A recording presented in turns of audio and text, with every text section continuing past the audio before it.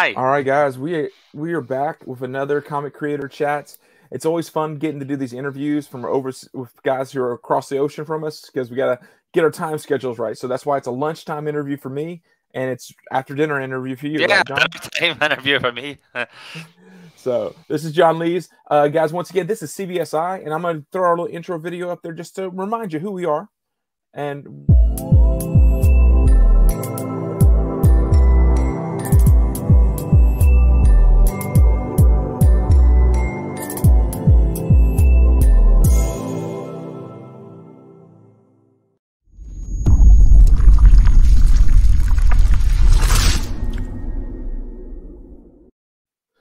All right, sorry. I like to throw that out there. Doing this live thing, I'm slowly getting used to it. A lot of times I tape, but live I found out is a lot more interesting for people just because they have a chance if they do get a chance to catch us. Now it's lunchtime over here in the United States. It's nighttime for you, but uh, John, I'm so thankful that you agreed to do an interview with me. No, thanks for having me on. And like I said, I really enjoy the live broadcast as well. I always think it's great interacting with people in the moment and seeing like, you know the live reactions and stuff. And there's a different energy to it as well. So it's definitely a lot of fun doing it this way too.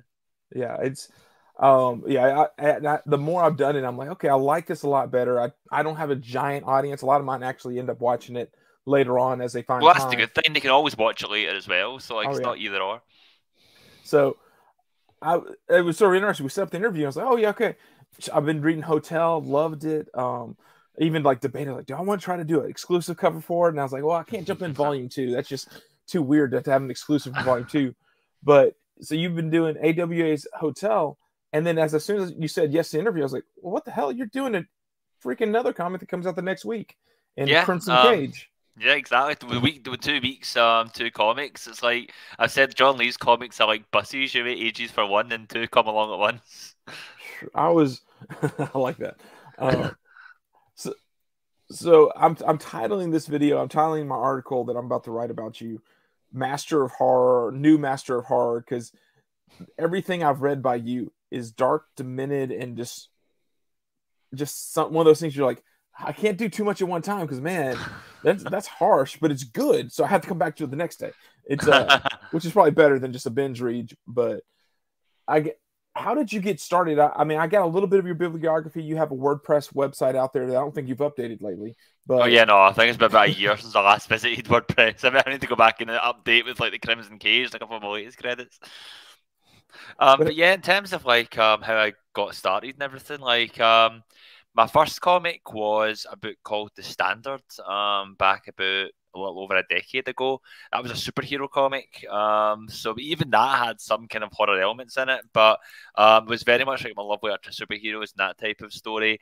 Um, and kind of the, the way I got started on that was it was an artist friend of mine who wanted to do a comic and he asked me if I wanted to write it.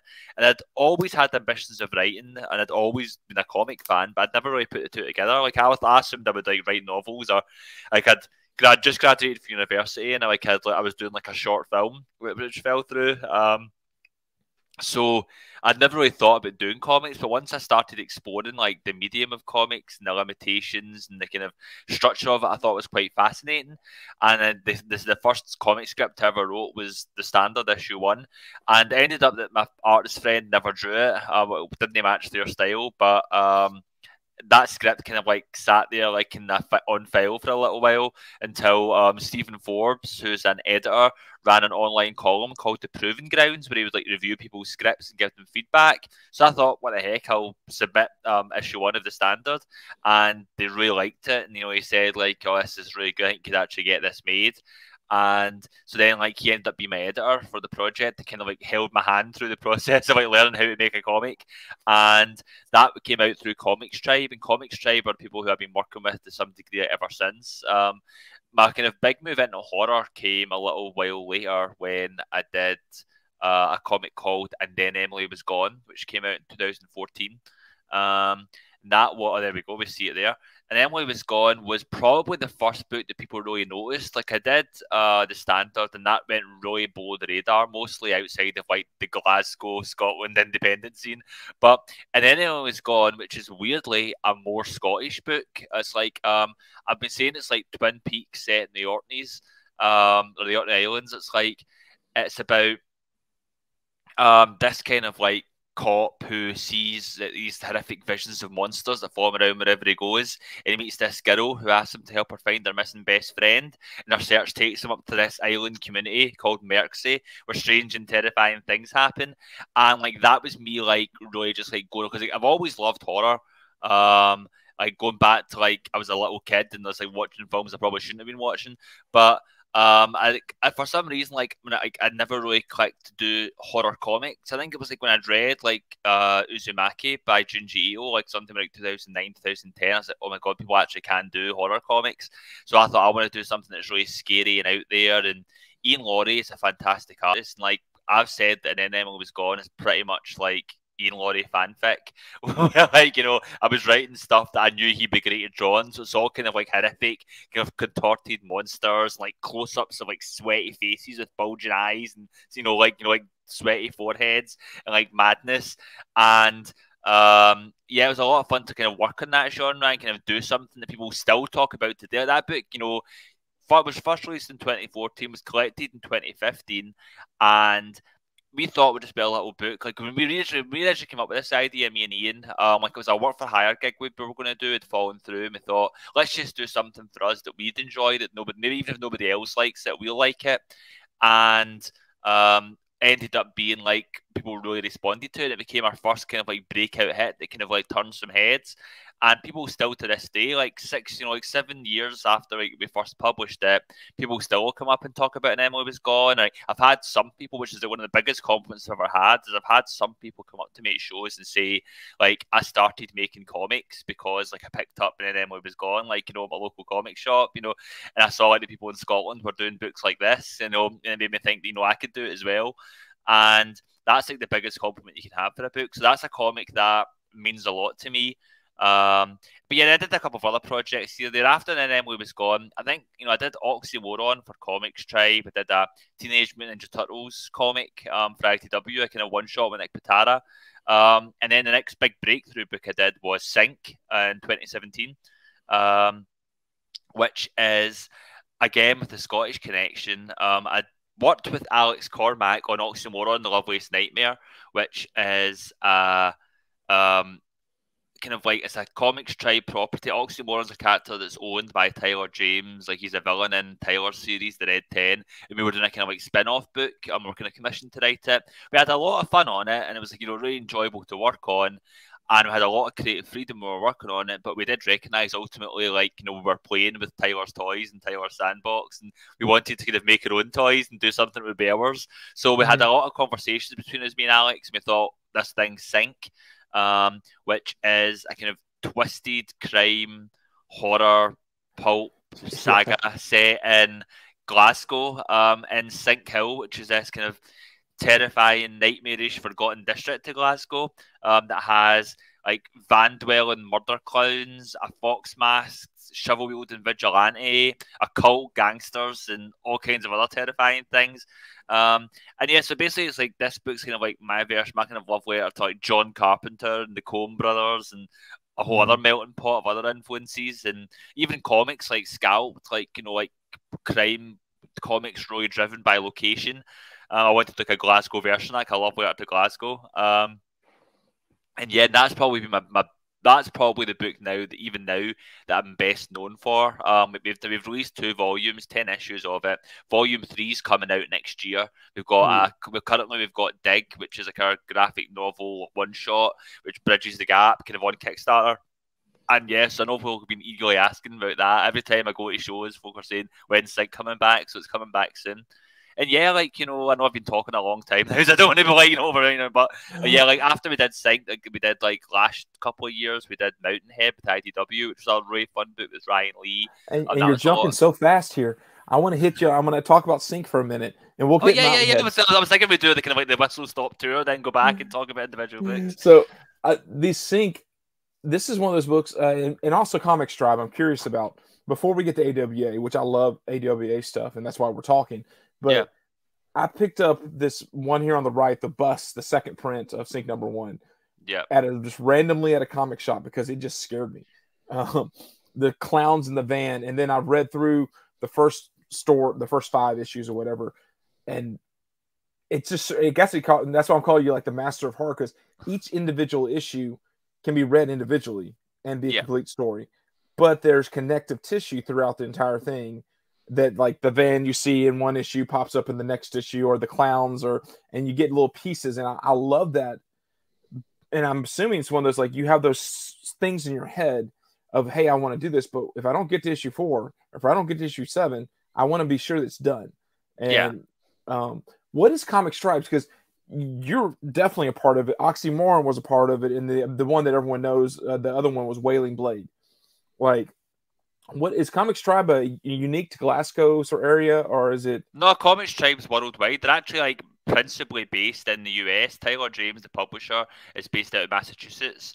Um, and yeah, so basically, like they started out like you know, in the you know the East Coast of the US, and um, I, I basically got to know them through Stephen Forbes, my editor in the Standard, um, who was also working as an editor for Comics Tribe back when we were first launching. The Comics Tribe originally started off, their premise was, their headline was creators helping creators make better comics. And they were like a tutorial website where like you know, they'd run columns with like guides for creators. Like Stephen Forbes had like this you know proving grounds column where they reviewed scripts and they had bolts nuts, which was like a kind of guide to making comics. And then Tyler James did a kind of like column series about the business of comics and things like that. And I did uh weekly column called the Creator Own Zone, where I would review review you know indie comics that people would submit, and like that was kind of like the kind of starting point of Comics Tribe. Then from there we thought, well, we'll put our money where our mouth is. We're going to start making our own books as well. Yeah. And we ended up like we had an opening lineup of books. The standard was one of them, and then we also had the Red Ten from Tyler. We had I think um, Runners from Stephen, and we had a couple of other books that were peppered in there, like Scam by Joe Mulvey. Um, and we so we had this kind of like launched lineup of books and it was very much small scale at first and then we got the diamond distribution deal and we started kind of like shipping through diamond and like as i say it was very small at first like the standard didn't make too much of a splash but and then emily was gone ended up being like our biggest book at the time when that came out but then since then we've had other big hits um, like wailing blade recently was a big hit for them and like actually their biggest hit is like C is for Cthulhu, which is like a children's book um, Hmm. that they publish. Um, so yeah, no, they're kind of like a worldwide enterprise. Like you know, they've published like a, a roster of talented creators, um, both in and out of Scotland. um, but yeah, no, so yeah, no, no, like I say, and they've got some really cool stuff coming up as well. Like not just from me. Like I say, um, they've got a book called Happy Hill, which I believe is launching um in the direct market soon. It definitely had a Kickstarter campaign recently because that's generally because like Tyler James, like his main job is he runs ComixLaunch, which is a kind of like a crowdfunding tutorial series, like you know, like you know, teach people how to crowdfund comics and runs like a Mhm. podcast and stuff. So Kickstarter is a big part of Comics Tribe's model. They tend to what they do is, is they'll do like a Kickstarter ahead of like a book's launch, like you know, ahead of the first issue, they release like a special edition, you know, like you know, like Oh, first issue book that will like go out to backers, and that will kind of like act as the kind of initial like hill of momentum and then like the series will launch in the direct market. Then they'll come back and they'll do a Kickstarter for the collection. That tends to be like you know the model they go for. Um, Okay. So yeah, but like they've got a book called Happy Hill coming out, and after that, next year they've got um volume three of Sink coming out. Yeah. Okay, that and that that helps me because I've interacted with lots of I've interacted with guys who are Source Point guys, and Source Yeah. Point sort of has the same model too. And then Yeah. Guys from Scout, they do it a little bit differently, but like a lot of you the that have jumped into smaller labels or start Yeah. got your start on smaller Yeah. labels. I mean, one of the cool things is because I've been doing like yearly shows going back to like you know like Gabby's like before the pandemic happened, I was going to New York like every year going back Mhm. to like 2011, and I remember it was like you know like when we started when Comics Tribe started out, we were in like Artist Alley or the small press section, and you see other people who are in the small press like Scout or like you know Source Point or you know Black Mask or like Vault or whatever, and then they would progress into becoming like a publisher and going in the proper publisher section, the main table. So we've all kind of grown up around the same time, which has been quite Yeah. cool to see. That and that's it's just and for me like the pandemic opened up the world for us to podcast and talk to you guys because Artist Alleys and the uh, small publisher and all those alleys are great, but you get overwhelmed when you walk through CTE to your New York Comic Con or it's like okay who do I want to see okay and I get how long to talk to you and the and those types of things uh so And that's this really cool doesn't travel well like in a busy, loud show floor. yeah Um, so you you mentioned it, and you did uh you jumped on and you did Mountainhead of IDW. How did you go from? The, is that did you pitch it to them or they come to you for Mountainhead? Um, well, we pitched it to them, but thankfully I had an in it with IDW because um, I did that aforementioned Turtles comic with IDW with the editor Bobby Curnow. So we had a kind of established relationship there, and um, so like me and Ryan Lee have been developing Mountainhead for some time. We've been shopping around a little bit. And the opening came up like to pitch to IDW. And we put a pitch together and like I'll confess, like I didn't choose like the best pitch pages at first. Like the page we chose were a bit kind of like quiet and dialogue driven. And like, you know, the editor was like, you know, we like this idea but we're not sure if like you know the pages that you've got are really hammering at home. Could you like do some work up some more pages for us? Like can give and that's something I'm infinitely grateful for because so many editors would have just been like, no, it's, not grabbed us right away, so we're just going to pass. But the fact that they gave us that other opportunity, like, you know, they believed in the idea enough, and sure enough, like, we put, we put together another sequence, and this time, like, they were won over. And yes, we worked with IDW on uh, Mountainhead, which was like a lot of fun. And like IDW is obviously like a bigger company with an infrastructure behind it. Like you know, Comics Tribe, like you know, like I love that whole team, you know. But like it's very much like a one man show in a lot of ways. Like you know, it's very like sort of like small and like you know grassroots. Like IDW has like a whole like staff and a legal team and a film department and you know all these meetings with other people with other people you're having. I was like, wow, this is like a big you know organization. Um, and yeah, like they were super supportive with Mountainhead, and like yeah, it was a lot of fun working on it and working with Ryan.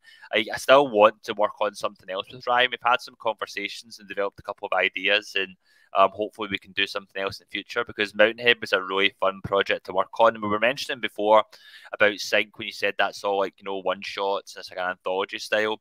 That has its benefits um, in terms of like accessibility, like and the idea that you can just walk into a comic shop, pick up any issue, and like you know, and I like the kind of format. But Mountainhead was very much a different pace. That's like one story that kind of like takes place over five issues, and it was nice to flex those muscles again working on this series. Yeah, well, and it's I don't know. IDW is, is one of those interesting publishers to me because they're more in my head. They're more well known for doing all the Transformers, GI Joe, yeah, license stuff, yeah, all their license stuff, which they're yeah. I think they're actually losing here in the future. But and then you got like they have like Mountainhead, they had a sea of like they have a horror section that like it's yeah. sporadic throughout the year, but it's like here's a little five. I think the the one they have currently is Sea of Sorrows or Sea of something. It's like a mermaid horror story. Oh yeah. Well, here's the fun story about that. Um, you mentioned Sea of Sorrows. Um, obviously me and Alex Cormack had worked on Sink together and we were you know having a blast doing that. Then at the same time, pretty much, I think they were a little bit ahead, but at the same time, Alex got an IDW book, Road of Bones, with Rich Douek, and I got an IDW book, Ryan Lee. So we both kind of graduated over at IDW at the same time in different books. Very nice. And then, but I, I got to find out how did you go from into AWA? Because AWA they brought almost everyone was like an Axel buddy. Like Axel Alonso was someone that like he had worked with at Marvel or he worked with at Vertigo, and you haven't been in the game long enough. Like when you came into the game was when he was leaving Marvel. Yeah. yeah, no, like you know, it's funny. Like I sometimes wonder, like, what the hell am I doing here as well? But like, um, the story about that was, um, this was maybe go. This was going back to like 2018. Um, I was I was working on Sink. Sink Volume One had came out at the time, and I think Sink Volume Two might have just been launching or just getting ready to launch. And I got an email. Sorry, it wasn't an email. It was like on Twitter. I got a notification that I said Axel Alonso has followed you on Twitter, and I thought someone's pretending to be Axel Alonso and they follow me on Twitter, but that was the actual verified Axel Alonso account. So like I followed him back, and he sent me like a DM, like you know, hey, I really loved Sink. I picked it up my local comic shop, and I thought it was excellent. I was like, oh, thank you. And he's like, you know, I'd love to talk to you about like working on working together on something in future. And this was before AWA had even been announced or anything, so I was like. Yeah sure, like that'd be great. I said, I'm, I'm going to New York Comic Con next week, but when I get back home, we can maybe arrange like a Skype call. And he's like, oh no, I'm based in New York, so if you want, we can just go for lunch.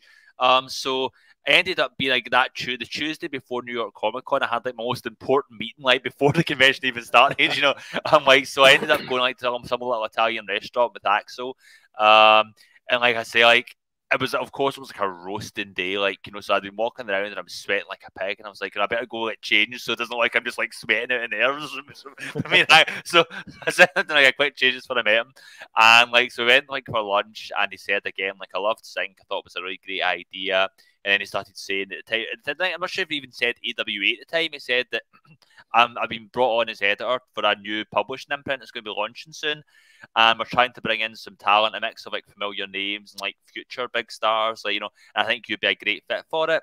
and this was like the a real different experience for me because he said, like, first he said, I want you to send me like everything that you've got you're currently pitching around. I want to see it, and also I want you to develop some ideas like for us. Like we're looking for ideas for we want to publish it, and this was such a massive like sea change for me because um, I'm used to like for me pitching is like I, I come up with an idea and then I'm trying to kind of desperately make publishers pay attention. I'm trying to go like mm-hmm. look at my book, and this was the first time where I had a publisher saying we want to work with you, pitch something for us. So I was like pitching like to spec pretty much because I've always said that like I've taught. Forgive me if you've heard this before. I use this analogy all the time, but like making a comic or creating a comic is like having a baby. It's like you know you're you know taking part of yourself and putting it into something new. You love it. You would do anything for it. Like you're so proud of it pitching a comic is like taking that baby and putting him in a hamster wheel and rolling him down the motorway and hoping that he gets to the other side intact. like, like you know, suddenly, like you know, you're having to deal with people who don't care about your baby. They don't care about it, you know, and like, and it can be really demoralizing. Like, you know, when you get the blunt rejections or just no reply at all. It's a really stressful process, and it's, it's long been something I've associated as being not fun. Um, but things started to change. Well, Mountainhead was the first time I think I actually had managed to actually pitch a book to a publisher, yeah. that, you know, with people who who weren't already my friends, and like you know, and be like, you know, them say yes. Um, but with AWA, this was the next step where they were like, you know, we want to work with you, develop ideas for us. And so, based on the conversation I had at that first dinner with Alex, I got, or not Alex, Axel, I got a few um, sort of things in my head. One, he said he wanted to do another anthology horror. He said that he loved um, Sink and he loved the anthology format. Two, uh, he said he, he brought up the setting of an old roadside motel as something he'd love to see. And although he was thinking about it in terms of like a noir or a crime story, but my mind instantly went to like horror for that setting. Yeah. And the third thing he said is, I'd love if you could come up with something with clowns in it again because I love the clowns in Sink. And I'm in my head, I'm thinking the, the last I'm not sure if I can swear, but the last effing thing that I want to like, you know, do it's like another, you know, effing clown story. But you know, but um, I ended up thinking like, well, that's an interesting challenge. How can I do a clown story that's different from like the other clown story? So the clowns in Sink are these kind of like grubby, horrific, kind of like they live in a van, and these like kind of you know spaced out, mad, like you know fiends that kind of grab people. You know, I thought, why don't I go to a totally different tradition of clowns and have like you know the commedia dell'arte, like Italian Renaissance, you know, theatre, and that kind of like clown archetype. And so I used that Pierrot, that became Pierrot Courts. And then like the idea I could end up coming up with was I started thinking about um like hotels can be scary places. Like I, I love that setting of a hotel as well, but for me, I think of like how creepy hotels can be, and I told I think this story's in like the first issue in the little create letter we put in. But I remember I was I was staying at a hotel in New York and I was in the bathroom getting ready and I looked um out the bathroom, you know, into like the living room area or kind of like the main area, like you know where the bed is and everything. And I saw a mirror and in the mirror was reflected the bed and the bed was one of those beds where it's like it was like high up and it was like four posts you could see underneath the bed. And I just had this idle thought of wouldn't it be creepy if you looked in that mirror and you saw like someone underneath the bed looking back at you, and like you know, and then like you know, and then that that kind of thought kind of blossomed and evolved and became like what was chapter three of um, Hotell Volume One. But I started thinking about just like different ways that hotels can be creepy. How you're all these different stories. It's a great kind of setting for a anthology type horror. I was like, you know, because like there's different stories you could tell in that setting, and so then and then I started thinking about the iconography of like the Bates Motel, like you know, or Psycho. You know, like that idea of like the, the modern like you know hotel with the kind of looming you know house in the background, kind of like gothic and everyday kind of clashing. So that was my kind of like inspiration. I wanted to make it a kind of blend of like a classic haunted house story, but with like you know modern Americana, you know, like you know like Route 66, like roadside hotels, that whole culture. So that became like a kind of blend. And then, like originally, when I put, I put together a pitch package for AWA, and originally the title was "Next Exit, No Vacancy." That was what it was going to be called, and um, it was like, and I pitched like kind of the four stories and the idea of like each, you know, taking place over a single day, and like each chapter would be a different room, and you were seeing the perspective of like a different room. Um, as with these terrific events unfold, and but they also work as standalone stories. And um, then like Axel like loved it. He said it was great, but his his idea, um, his you know contribution was I think we should call it Hotell. And he says, and he says, imagine um the logos like this like red neon sign that says hotel, and uh the O and the T are blacked out. There's an extra L scrawled on at the L. So that was all Axel. He came up with that idea of like Hotell with two L's. And uh, like I was like, oh, here's a here's a genius at work. This if we get all, all those editor bucks. and like, you know, and yeah, so then the rest is history. I mean, for anyone who doesn't know, Hotell is a kind of horror anthology series set in a set in Pierrot Courts, which is this old roadside hotel off Route 66. Officially, it doesn't exist. You won't find it on any map, but if you're traveling alone and you're truly desperate for sanctuary or secrecy, perhaps you'll see a sign on the edge of the road saying next exit. and if you go there, um, you might end up wishing that you'd kept on driving. So that's the kind of elevator pitch that we have for Hotell. And yeah, like so I wrote that and I had a lot of fun. But like you were saying earlier on about how it was all Axel's friends and his like former contacts of the big two. I very keenly felt that because I wrote the scripts in isolation. This was like I say, this was my first ever like experience of getting a pitch picked up just based on my script. No, because usually I have to like pay for an artist and like you know mm-hmm. and get like you know a, a pitch package together with the whole creative team and sell them. But no, it was just based on like my my pitch document. They're like, yeah, we'll take it. So they put together the creative team. So I wrote all the scripts before I even knew who was drawing it. I wrote at least most of the scripts before I knew who was drawing it. And then like I find out that I'm working with like Dalibor Talajić of like, you know, Punisher kills the Marvel Universe. Everyone was yeah. not Punisher, so Deadpool kills the Marvel Universe and like um various other big Marvel titles. And um, and it's like Lee Loughridge is in colours and Sal Cipriano's and letters. They're all like people with like Marvel DC credits. I was like, the, who who the hell is this guy in that team? And so yeah, so I felt a bit of pressure, but like I was proud of the book and I thought, well, you know, like I was happy with how it turned out. But I don't think any of us really anticipated just how much people would love this book. People really responded to it. Um, like the response on social media with reviews, like I think it's maybe because, like you were mentioning about how like the pandemic opened up this whole new world people forget the AWA's big massive launch event. It was four titles that was going to be they were launching the same week. It was Hotell, The Resistance, Archangel 8, and Red Border. They were all going to launch the same week. And AWA that organised like you know transatlantic signing events, like you know the signings in the UK, mm. signings in the US. It was going to be like massive big like AWA Day that was the day that, that everything shut down because of the pandemic. You know, oh, yeah. so like so it ended up being that we never got our big launch. But with the with the kind of like with the growing like with the rise of all these like YouTube channels and like new podcasts have emerged as folk were kind of like stuck at home with their comics, you know. Um, I think people really started to kind of really discovered Hotell um, and really kind of took to it. I think it really resonated with a lot of people, and like, that really means a lot. The folk enjoyed it as much as they did, and all the kind messages and all the folks saying like, "Are we getting a volume two?" and tagging me and tagging AWA. I think it's thanks to all those messages and that average response that we're sitting here talking now about volume two. I was looking for one of these. Oh yeah, help shot now. There's a blast yeah. in the past. These were these were genius. Uh, I was amazingly, I'm you're the last person I need for the like the entire set of Hotell interviews. I've oh, interviewed yeah. back shoot right after the pandemic hit or whatever. I Axel agreed to interview. Like when I started doing this, he was like my third interview. I was like, and I didn't know who Axel was. I hate to admit, like I was just reaching out to AWA. I was like, "Hey, new upstart company, I'll, I'll, just reach out." And then Axel said yes. I was like, "Wait a minute, Axel? Oh, wait, I know that name."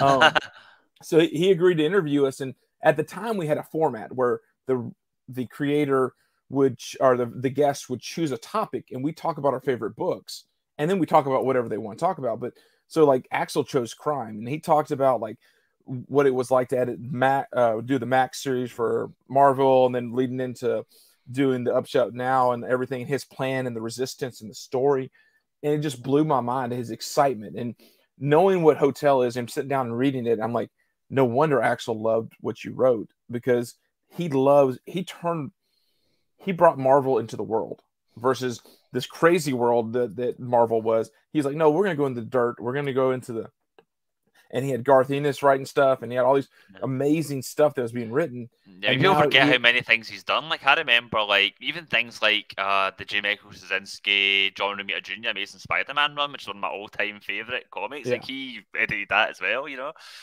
Yeah, it's it's just amazing. And then I've re- we interviewed Lee Loughridge, so I, I interviewed your colorist, and he was amazing. And uh, like it was awesome talking to him, and just the way he the way he colors is amazing. He's one of my he's one of the five colorists actually recognize the name when I read a comic.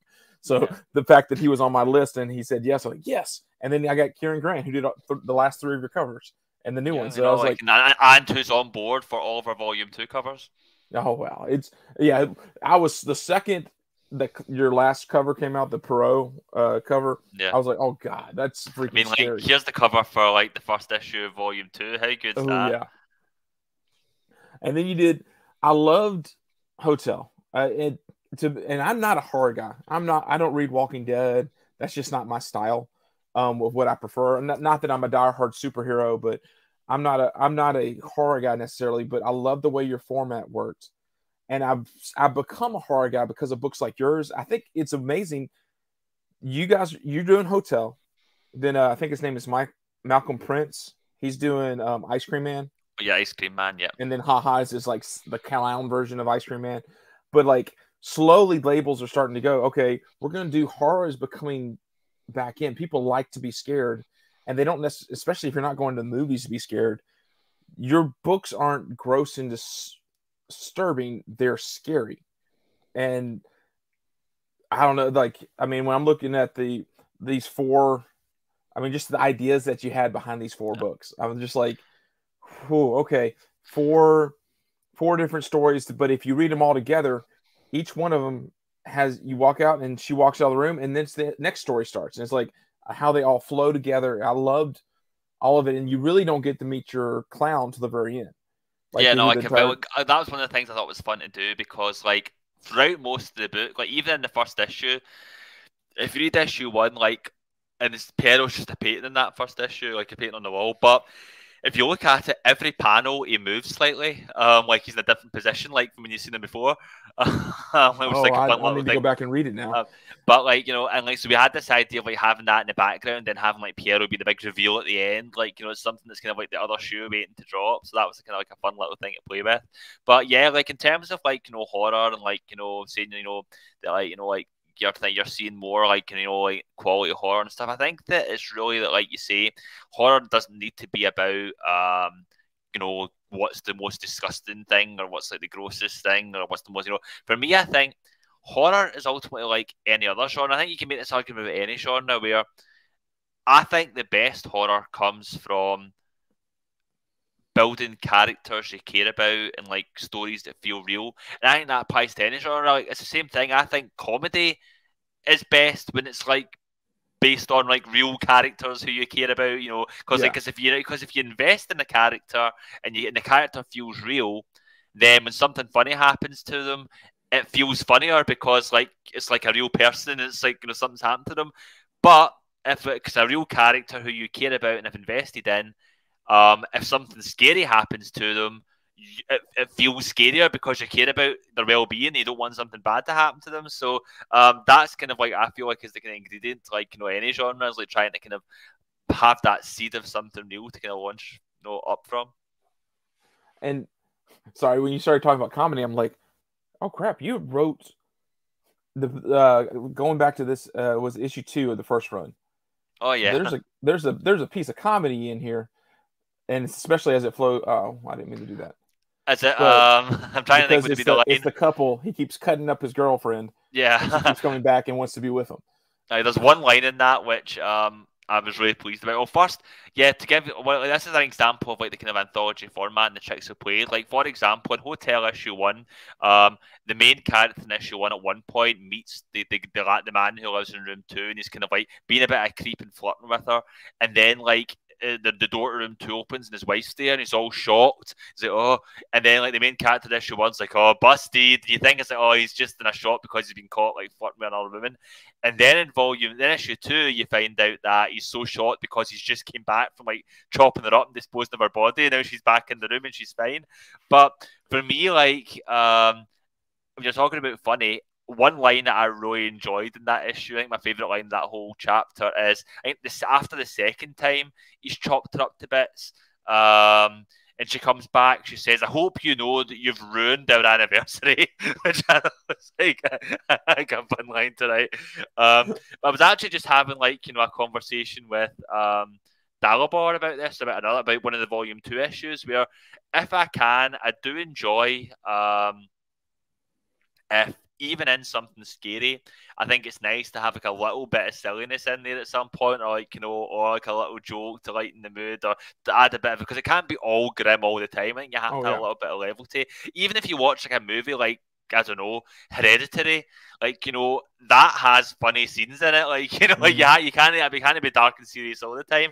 But um, like for me, like that, I think that's something I think is quite nice to have that kind of like release. Like even in Mountainhead, we were talking about Mountainhead earlier on, it's like a seeming like there's like some horrific, like monstrous transformation. Then like a wee beat where a character says like, "What the fuck?" You know, like and it's like you have like you know like little moments like you know where it's fun to kind of like put a little bit of a gag in there. Um, and so yeah, that so that was like it was quite fun to play with that. Um, and obviously, that's the fun of Hotell as well, is that because of the anthology format, you can tell different types of stories. That you can tell ones that are more serious and grim and kind of like, you know, like terrifying, like chapter three, or you can have ones, you know, like number two, which are kind of like anarchic creep show, blackly comic type stories. Yeah. And it's fun to kind of have different kind of like, you know, muscles to flex over the course of the series.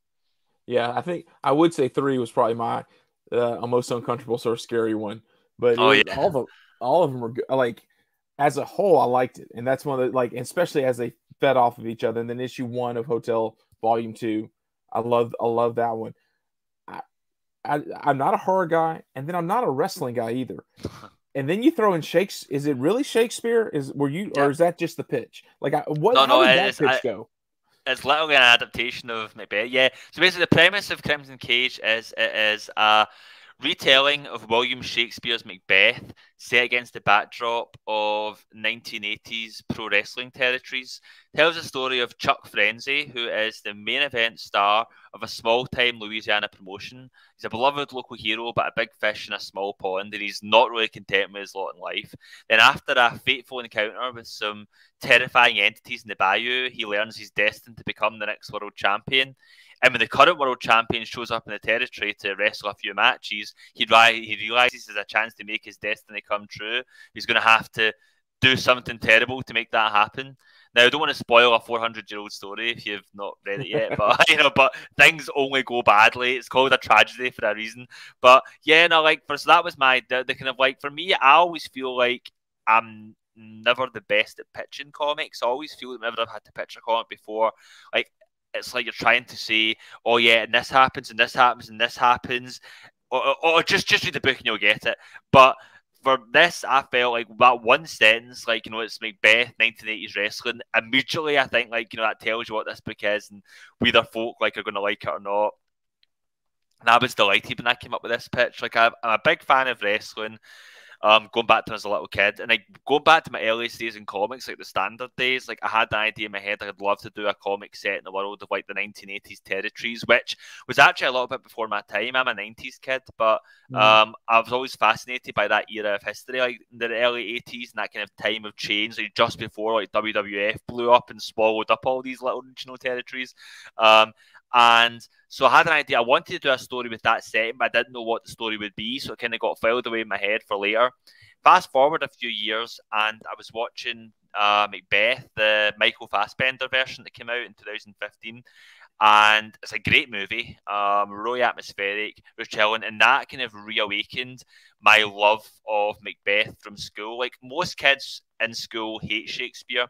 I loved Shakespeare in high school, 1st mm-hmm. year of high school was uh, Macbeth, and I was already like a wee horror loving weirdo back then. So uh, I, I, I was like, this is a horror story. It's got witches, it's got ghosts, it's got decapitations, it's got murder, it's got curses. You know, it's all the kind of stuff I like.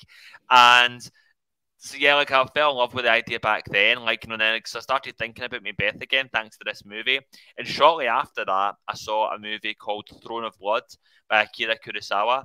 Um, which is another remake of Macbeth and I love that movie. It's became one of my all-time favorite films. I've watched it over and over again since then, and I became a bit obsessed with it. And I started thinking it's so genius how they took Macbeth and transplanted that to the world of like feudal Japan and samurai. If I was doing my version of Macbeth, what would I translate it to? And then that dormant idea of like the wrestling 1980s kind of came back in. I was like, oh my god, like wrestling Macbeth, like you know, go together, yeah. and it actually fits together really well. Which really, the more I started thinking about it, I was like, it's one of those things where like I rarely have this. Usually, ideas for me are like a long process of like defining, but this idea just came together like doom, doom, doom, doom, doom, like. And I was thinking, oh my god, like instead of like you know the king is the champion, um, and then like you know, and, you know you have like instead of like you know the king coming to stay his castle, he's like a wrestler coming to visit his territory, you know, and like and, and everything all kind of clicked together. Even things like um in Shakespeare in the tragedies, the main characters, you know, will step out aside and give soliloquies where they directly talk to the audience. And in this, our version of that is um, wrestlers cutting promos where they have a microphone and they're talking to the camera, but they're talking, they're talking like to the reader. So we do that in the book instead. And so just all the little bits of like iconography and all the little flourishes all clicked right into place. And was one of those things where I was like, I could feel my heart beating. So I was thinking, oh my god, this is like a great idea. I hope nobody's done it already. Sure, they have, but thankfully they hadn't. And yeah, like and it became an idea. I just I first developed this idea back in 2017, and I fell in love with it, and it became one of these things where, for me as a writer, one of the most powerful motivators for doing any story is if there's a story that you as a reader love and want it to exist, but it doesn't exist, so you have to make it. And that's the only way it's going to exist. That's how I felt about the Crimson Cage, where like, you know, I wasn't going to be content till this book was out in the world. And it's taken a while, it's been a few years, but we finally got there and it's finally out there. And I'm so proud of it. Like, I cause it's a dream project I've wanted to do for a long time. I think it's been my best thing that I've written. I'm really proud of how it turned out, and like it looks great. Alex Cormack's on art, Ashley Cormack's in colours, Hassan Otsmane Elhaou, the letter. It's like a great team. So I'm just really glad I got to tell this story at the level that I wanted to tell it. That's awesome. So So you got to go back to your Sink boy and okay, hey, come come with me. We're going to AWA. We're going to do the story I've been wanting to tell for five years. Yeah, pretty and, much. Well, uh, Alex, like I, I talk to Alex every day, pretty much. Um, yeah. But um, but the time we just finished volume one of Sink, volume two was coming up, and I think it was um it would have been late 2017 actually. It probably would have been when I was at New York Comic Con in 2017. We were sitting having dinner at Bonchon Chicken uh, in Manhattan, and like and I was telling like uh, Alex about this idea developed. I was thinking, but I don't know who's going to draw it yet, and he's like, you know, I'll draw it. I'm like, are you sure? As well as drawing Sink? And he's like, yeah, I'll do that too. It's fine. So yeah, it ended up being like, you know, that I'd worked on it with Alex and yeah, I couldn't have it any other way because he's brought so much to the story. Like, because I've worked so much with Alex, like, he's one of my best friends. Like, he's super talented, um, has a great style. It's got to the point now where whenever I come up with any new comic idea, my mind automatically imagines it as drawn by Alex Cormack, and I have to like think like if I'm going to get someone else to do it, I have to kind of consciously like unthink of Alex and think of somebody else. Like yeah. he's like the default in my head now, um, and our sensibilities are so well aligned um, that. Uh, I think it's just a perfect match, and like you know, I'd I'd love to be working with him in some capacity forever if you'll have me. Yeah. but like, and there's a lot of great pairs of like when I think of through like a lot of writers and artists they go together or they you can tell they they write stuff for certain artists. Like uh the one i that actually got me back into com- comics was a uh, bendis and Maleev, alex Maleev. yeah. Like they've done several different types of books well sort of but like spider woman M- moon knight uh then they went to D- dc together and did some things. Uh like I have a sensibility it, like, that's like more than the sum more than the sum of the parts like when they come yeah. together But like, and yeah, that one of the great things about being a writer is that I get to have that with multiple different artists. Like, you know, mm. for me, like I look at my partnership with Alex Cormack, and like, you know, that brings out one quality of my work, and then I look at like the partnership between me and Iain, Iain Laurie, who didn't Then Emily Was Gone, that brings out a different quality. And I've, made, I've given this analogy before that like me and Alex are like totally in lockstep, where we often come up with the same ideas like separately and bring them together, like you know, and mm. like you know, we're really kind of like you know harmonious and like you know, we're on the same page. Um, whenever I, whenever I work with Iain, Iain is an artist who is like super abstract and strange and out there, and like really kind of like you know doing like really experimental, like you know arty stuff. I'm very mainstream in my sensibilities. I'm very much about what's the plot, what's the character arcs, what's the structure. Um, so, and Then Emily Was Gone was simultaneously my most strange, out there, loose arty book I've ever done, and Iain's most mainstream like work ever. So I kind of yeah. feel that whenever me and Iain work together, there's this kind of tension where we're both pulling in opposite directions mm-hmm. and we're both kind of get different creative impulses. But in that tension and then as both kind of wrestling each other, we kind of like both of us are driven to kind of do interesting creative decisions we otherwise wouldn't do, um, which I think makes like a really interesting dynamic for working together. Very cool. Before we sign off and all that, I want to talk about You've mentioned it a couple of times, but right now on Kickstarter is Dig. Yes, and that, that's what it talk about. What Dig is? It I know it's a follow up or a one shot to Sink. Yeah.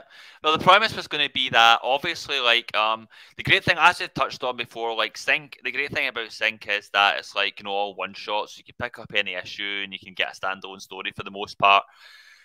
But even with that said, like, you know, as we go into volume three, it's like Sink 11, Sink 12, Sink 13. Folk might be put off by, put, by picking up like a book with double digits in this title. So we had the idea of to make that a little less daunting. Um, we'll have a little bridge the gap where, like, you know, Sink Volume, I would always plan to have a, hi- a hiatus after Sink Volume 2. And then the plan was going to be we're going to come back and we're going to do Dig, which is like an OGN, a kind of like standalone graphic novel um, a graphic novella, more like it's like 60 odd pages. Um, and then from there we'd launch into like Sink Volume 3. Like, you know, you know, so like that's the purpose of this book is one, it is a kind of catch up for established readers to kind of remind them of the world of Sink, kind of reintroduce the key players and set the table for some of the arcs that are going to be kind of like unfolding in the coming issues. And then um, for people who've never read Sink before, this is kind of like a jumping on point. It's like here's Sink, here's Sink Hill, here's one of our most interesting characters, Mr. Dig, a kind of iconic figure, and here's his backstory. And the good thing is that because it's not part of the main Sink universe, uh, we're not main Sink universe, main Sink series, but it is, in the, it is in the same universe. But because it's not part of that main series, we get to do things we wouldn't get to do in the main book. Like for example, the main book is almost entirely set in Glasgow. In this one, we can travel all over the world. The main series is always almost always set in the present. In this book, we can kind of jump back and forth in time and do flashbacks and show different mm-hmm. stuff. And because we have more space, we can have this massive fight sequence over like 20 pages that takes place in the book. Um, and so yeah, so the basic premise of Dig is it's telling the backstory of Mr. Dig, how his origins, how he came to be, how he came to Glasgow, how he ended up um, with this, you know, motivation to, you know, like beat up the criminals and the, you know, the corrupt in the world with a big shovel. And at the same time as like setting up this origin, we also introduce uh, Mr. Dig's deadliest enemy yet, a kind of really menacing new antagonist who is set to kind of burn everything he's tried to build to the ground.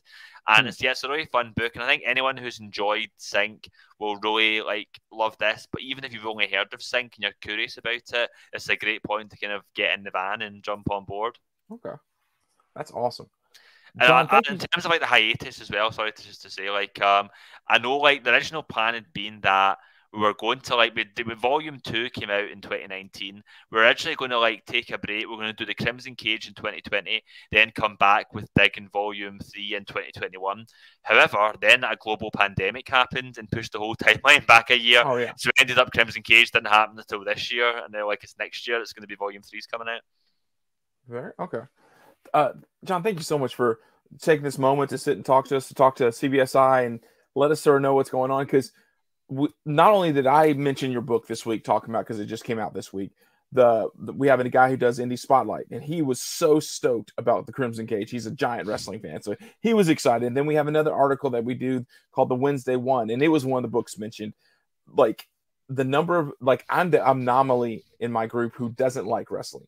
The, these guys get so excited. So they were so excited about your book coming out about wrestling and Macbeth and and all these different things. I, I really enjoyed reading your book. It just wrestling is not the first thing. oh, I'm gonna get but that. The thing is, I'm actually happy. Like, it's particularly happy that you liked it though, because like for me, like one of the things I've one of the great challenges of the book is what I wanted to do is I wanted to create something that if you're a wrestling fan like me, you'll get so much out of it in terms of all the references to wrestling. You'll see all the parallels. You'll get a lot out of it. But also, if you're not a wrestling fan I want this to serve as like an introduction to that world. And also, even if you don't care about wrestling at all, it's still Macbeth. You still have like this universal story of like betrayal and ambition and greed and violence, and that appeals to anybody. I think so.